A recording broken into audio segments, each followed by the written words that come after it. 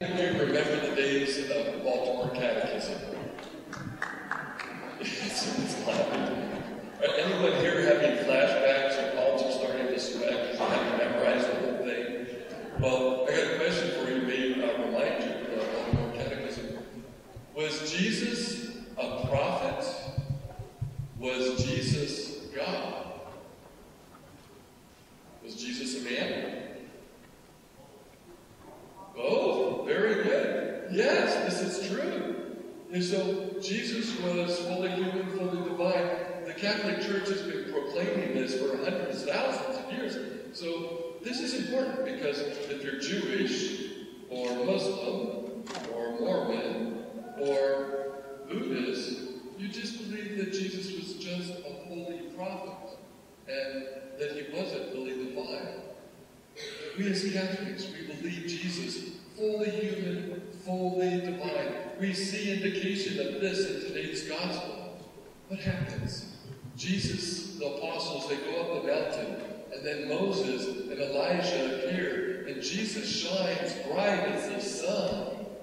Jesus is revealing his divinity. Elijah, Elijah represents the prophets, right? He's the greatest of all the prophets. Moses represents the law. So Moses and Elijah being there is symbolizing that Jesus is the fulfillment of the law and the prophets. The fulfillment. Jesus is the fullness of God's revelation. Jesus is the fullness of God's revelation. Why is this so important to us? Well, we have to remember this. Jesus was human. He wept. He was one of us. He had to be human. Jesus was divine. Why? Because he was without sin. Right? And it took someone who was one of us, who was without sin, to be the perfect sacrifice to take away our sins. And because Jesus is that perfect sacrifice to take away the stain of our sin, we too can become transformed just like Jesus was. But we're called to be the very presence of Jesus in our world.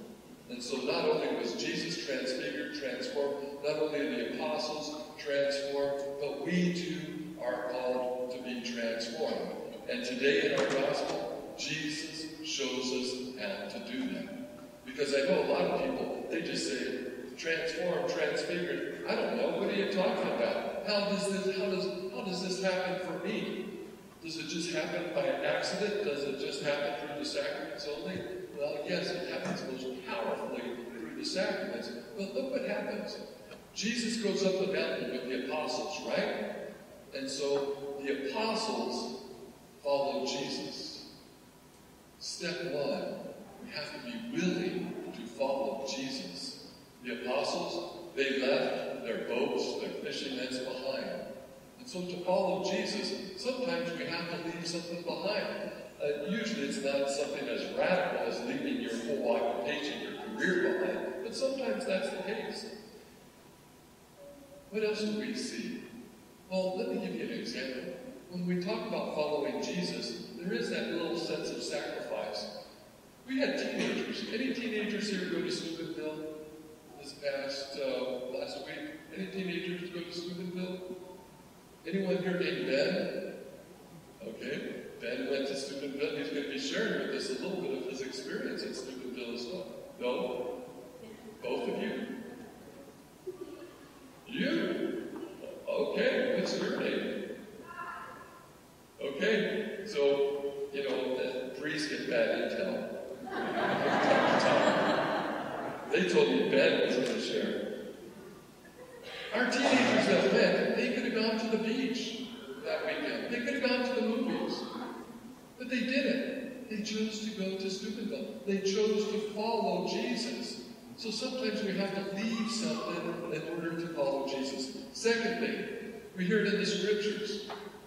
Voice from heaven, God the Father says, This is my beloved Son, in whom I am well pleased. Listen to him. Exactly. So we have to have hearts that are open to listening to Jesus. How are we listening to Jesus today? Hopefully it's in our prayer lives. Hopefully it's in uh, reading of the Bible, the scriptures. Hopefully it's the teachings of the church.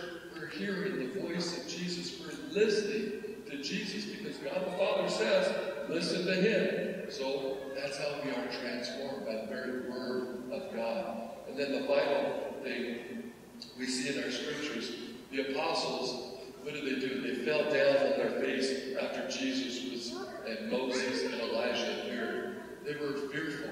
They fell down on their faces. Jesus comes over. Jesus touches them. And he says, Get up. Do not be afraid. And so we too have to allow the love of Jesus Christ to touch our very hearts, to touch us at the deepest part of who we are, to cast out any of those fears. Some people, it's, it's the fear of being rejected or the fear that they're not going to fit in. Some people, it's not just a fear, but it's shame. Maybe it's the shame of something from the past. And Jesus is saying, get up, be not afraid. Sin. Maybe it's a habit. Jesus is saying, I want to take everything that is keeping you from being transformed into my very presence. So today we have to ask ourselves, what is it that Jesus is calling us to bring to him to be transformed so that we can be his very presence in our world? Any of you ever heard of uh, Russian comedian Yakov Smirnoff? You've heard of him. This was a couple of years ago. Now, he's from Russia, right? And he comes to America. He goes to a grocery store in America, and he's walking through this the grocery store, and he's like, wow, look at this, America. These grocery stores, you've got everything here. Everything. How blessed you are in America. He goes down one aisle, he sees powdered milk. He says, wow, powdered milk. All you got to do is just add water to it, and instantly you have milk. Then he goes down another aisle. He sees powdered orange juice. All you have to do is add water, and instantly you've got orange juice. He goes down another aisle. He sees baby powder.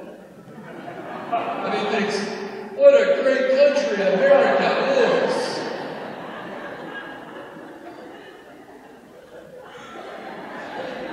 Some of you were just kidding, but I, it's all right. This can be one of the traps for us in our spirituality. We can think that, oh, boom, we can just do it like that and we can be transformed. But that's not the way it is. We're on a spiritual journey. That this journey takes time. It takes constant work. It takes us being willing to be transformed into the very presence of Jesus Christ. It doesn't end just instantly by adding water.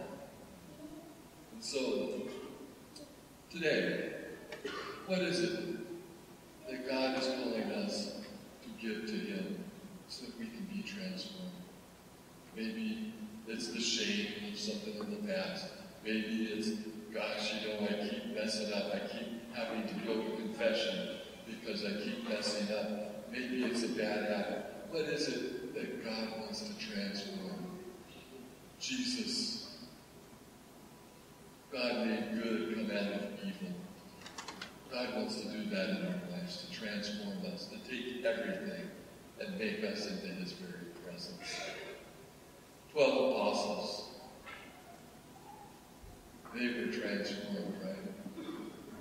They were transformed.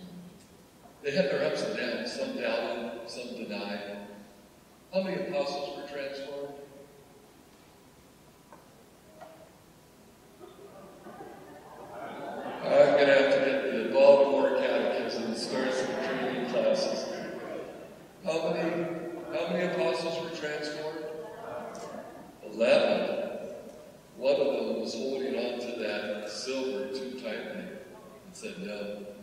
I am not willing to be loved by the Lord Jesus Christ.